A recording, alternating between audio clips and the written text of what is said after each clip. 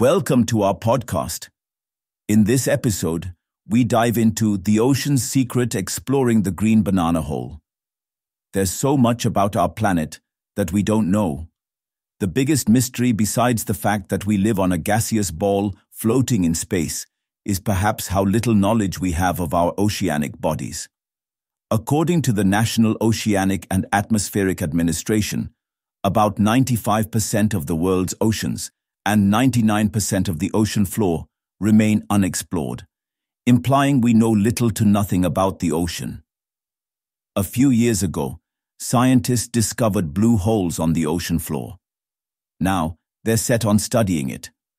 A blue hole is intrinsically a sinkhole in the ocean floor, which creates a cave-like structure. Located off Florida's coast, the hole has been nicknamed the Green Banana. Reported first by The Independent, the exploration mission for Green Banana is starting this month. The hole is 300 feet deep, which very little is known about. Scientists are looking for a lot of answers, primarily whether the water inside the hole is different from the regular salt water found in the ocean, which is situated higher than the cavern. It is entirely possible that these holes are a product of freshwater microbodies in the ocean. Green banana hosts a lot of life, including fish and aquatic plants.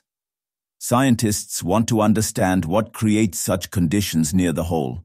The water looks different too. As opposed to the general ruggedness of the ocean water, the water surrounding the hole is much clearer, which is another mystery that remains unsolved. To better understand this, researchers intend to drop a piece of hardware into the water.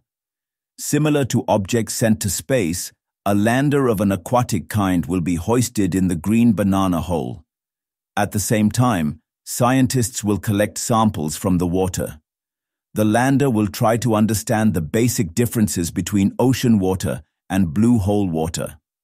The mission, which begins later, is funded by the National Oceanic and Atmospheric Administration. Many scientists believe that the vicinity of blue holes situated close to one another might hold some key in understanding them, perhaps a cave-like network of freshwater springs hiding in the innards of the ocean. Thank you for listening to our podcast. We have many more such compelling episodes for you. Enjoy them. Do share your opinion in the comment box and subscribe to us for more.